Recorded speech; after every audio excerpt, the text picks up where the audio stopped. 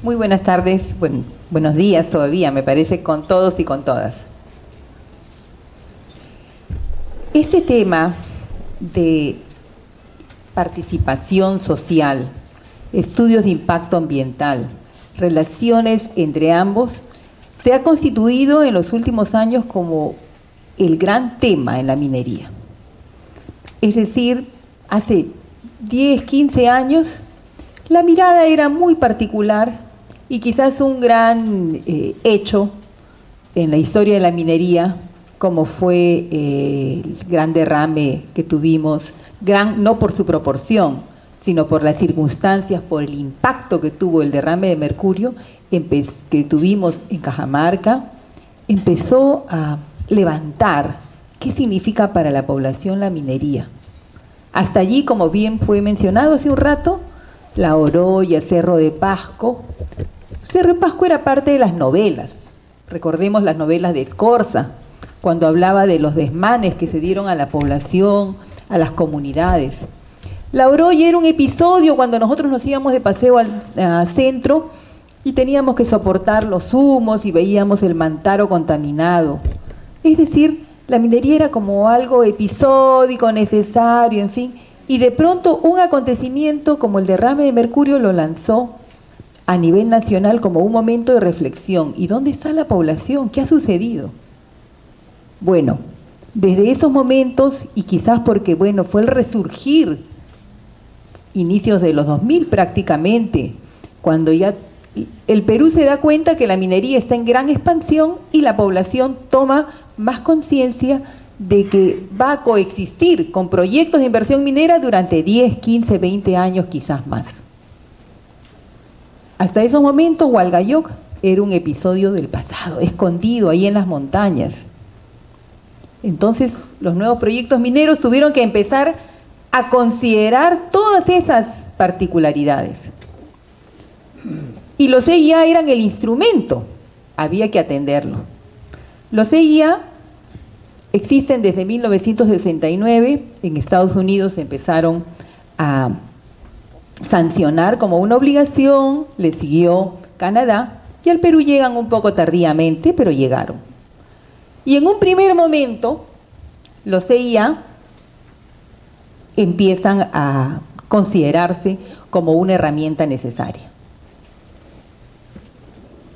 La proyección, por favor. Y así como empiezan los EIA, empezamos a ver que son instrumentos donde hay algunas cojeras que hemos llamado. Algunos elementos que todavía no los encontramos suficientemente desarrollados como para decir que ya está caminando el EIA en esa búsqueda de responder a las preocupaciones de la población. El clásico EIA, y digo clásico no en el sentido de un buen clásico, de reunir las condiciones apropiadas, sino el clásico en el sentido de que la mayoría de los EIA tenían cojeras como ser estudios que facilitaban la información sistematizada de los aspectos de la realidad ecológica y sin desarrollar mayormente la información social. ¿Qué cosa era la información social? La información social era un recuento demográfico. ¿Cuántos hay? ¿Cuántos son? La edad, el sexo, si iban a la, escuela, información que la podía tener un estadístico, donde los científicos sociales como que dejábamos de lado nuestro espíritu analítico y empezamos a dar información cuantitativa con unos cuantos aderezos. Y a lo más, algunas formas organizativas de la población. Y no me estoy refiriendo solo a los EIA realizados en el sector minero. Tuve la oportunidad de recuperar algunas guías de españolas sobre los EIA, cuando tienen guías detalladas sobre los EIA en los aeropuertos o sobre los EIA en los caminos para hacer las construcciones, ¿no? carreteras y ferrocarriles. Y efectivamente allí tenemos un, documentos de los años 90 donde encontramos que, bueno, hay un interés por encontrar la dimensión social, pero a ese nivel.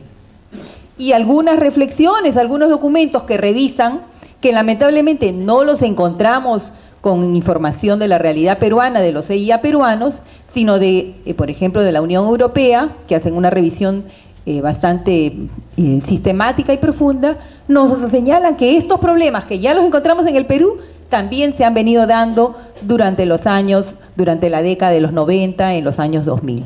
¿Qué pasa con las políticas? ¿Qué pasa con los planes, con los programas de desarrollo que tenemos en nuestro recorrido desde justamente los años 2000 en el caso del Perú? cuando se aprueba la ley de bases de la descentralización, la nueva ley orgánica de municipalidades, etcétera, que nos obligan a tener planes y programas, también con muchas deficiencias, como acaba de ser señalado. Planes y programas que no están suficientemente profundizados, pero que ya van dando a pequeños avances.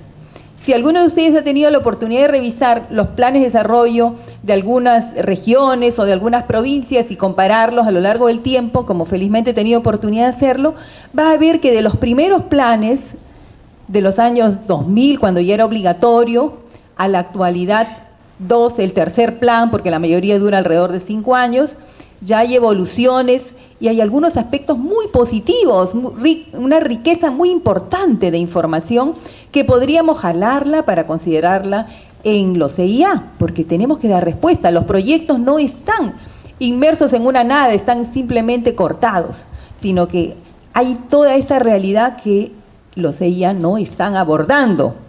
Y por eso algunos reclaman, y yo creo que con algo de razón, que tenemos que ver a los EIA en el marco de los análisis estratégicos, tener una mirada más de conjunto. Y hay varias, y la ley, la propuesta, digamos propuesta en el sentido de que muy poco se ha desarrollado en lo que se refiere a los estudios de impacto ambiental, lo propone que tengamos esas evaluaciones estratégicas, que las miremos, que le demos una mirada inserta en ello. Todavía no hemos avanzado.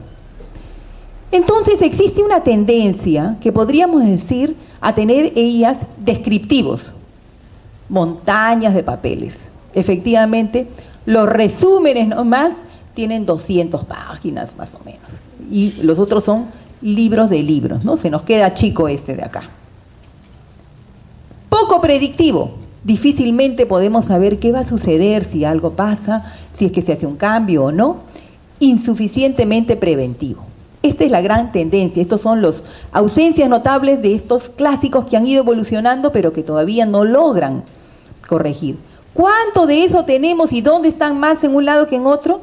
No conozco, he buscado un poco, pero no conozco un análisis de conjunto. Sería interesantísimo que se hiciera eh, por parte de alguna tesis una investigación referida a la evaluación de los EIA en los últimos cinco años. Limitado el seguimiento, como también fue señalado, el control a los proyectos aprobados. Una vez aprobado, wow, diría la empresa, salí del problema.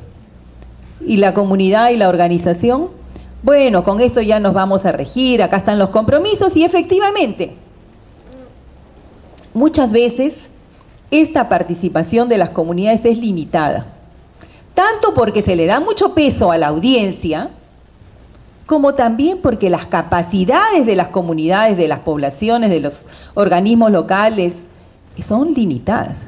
¿Recuerdan ustedes, los que estamos en el campo de las ciencias sociales, hace más de 10, 15 años ya creo, Sinesio López hizo un análisis sobre ciudadanía y hablaba de sociedad civil.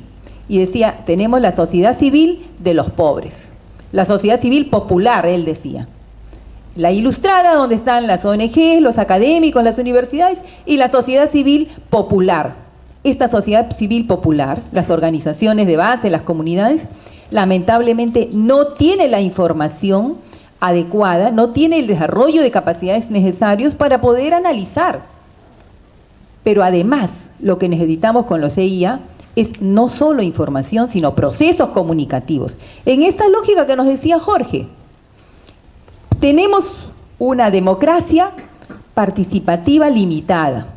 Tenemos una democracia donde sí la información, nos, podemos acceder a la información, pero establecer una riqueza, una democracia que llamamos deliberativa, donde yo esté preparado, tú estés preparado y podamos establecer canales de comunicación, eso está recién en proceso. No se desarrollan entonces capacidades suficientemente de las representaciones ni autoridades locales para ser parte del proceso. Siguiente, por favor. Construyamos entonces una nueva mirada y le robo acá un par de minutitos. Uno, ojalá. Necesitamos entonces analizar el conjunto de acciones humanas que inciden sobre el sistema ecológico. El conjunto. No estamos hablando de una que otra intervención. ¿Hacia dónde vamos? Y a la vez, esto que llamamos el conjunto de efectos ecológicos que, van a, que tenemos en la naturaleza, que van a incidir sobre los sistemas sociales. Porque la acción de las personas no solamente eh, incide sobre nosotros mismos y sobre, sino sobre la naturaleza y viceversa, y eso requerimos, requerimos pues darle esa mirada, esa mirada doble, ese canal de doble entrada. ¿Y donde qué rol tenemos los científicos sociales? Pues recojo el planteamiento de uno de estos teóricos, donde dice, desarrollemos los científicos sociales el rol de mediador, de facilitador, de producir este engarce entre ambos elementos. Siguiente. Generemos puentes. Lamentablemente el tamaño de la lámina no es suficientemente amplio, tengo allí la fuente, eh, pero es el desarrollar un conjunto de sinergias que nos vayan hacia, hacia arriba, hacia abajo, y donde nos hagamos algunas preguntas. Siguiente. ¿Qué acciones se ejercen por parte de nosotros, del proyecto, sobre los sistemas ecológicos y con qué modalidad? ¿Qué vamos a hacer como intervención? Depende entonces del funcionamiento de este sistema social y cómo el sistema social, qué percepción tenemos de ella y cómo evaluamos el ambiente. Hay que responder quién actúa sobre el ambiente, hasta dónde vamos a llegar, por qué tenemos esta modalidad y quién sufre o se beneficia del cambio de condiciones ecológicas. Siguiente. ¿Cómo afectan las acciones humanas? ¿Qué efectos ecológicos se producen? ¿Estamos considerando el ambiente externo de la sociedad? Entonces nosotros podemos decir cuánto el proyecto está considerando el posible efecto de un niño, del fenómeno del niño, en el caso del norte. ¿Cuánto estamos eh, considerando todo ello que no está a mi control? Y termino diciendo, todo ello está en un enfoque de desarrollo sostenible, señalado con sus tres dimensiones. Por tanto, tenemos que integrar a la sociedad en ese ejercicio de ciudadanía y en ese ejercicio de prevención de conflictos, tema que lo van a tocar en el siguiente aspecto. Solamente diré todos estos procesos se desarrollan bajo los mecanismos de participación ciudadana. Hoy día tenemos la nueva ley de consulta. Ley de consulta que, como bien también fue mencionado, no podemos decir que ayuda o no ayuda, porque simplemente no se está aplicando en muchos sectores, particularmente en el sector de minería, por el debate que todavía tenemos de que si son o no son los pueblos indígenas andinos, donde está la mayoría de proyectos mineros, población indígena. Tema que hay elementos para señalar que sí, hay amplios sectores que son población eh, de pueblos originarios o poblaciones indígenas. Por tanto, eh, hoy en día uno de los retos que la comisión de consulta del grupo de diálogo ha estado eh, propone, propone es desarrollemos mecanismos para articular procesos participativos y procesos de consulta previa en el marco de los estudios de impacto ambiental. Gracias.